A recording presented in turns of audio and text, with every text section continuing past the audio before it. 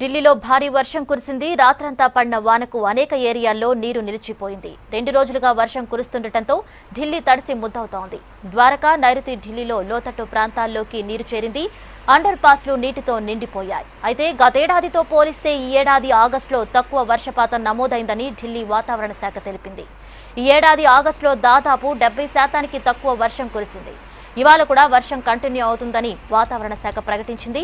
ఢిల్లీతో పాటు దాని చుట్టుపక్కల ఉన్న నోయిడా గ్రేటర్ నోయిడా గజియాబాద్ రోహ్తక్ గురుగ్రామ్లలోనూ రాత్రంతా వర్షం కురిసింది.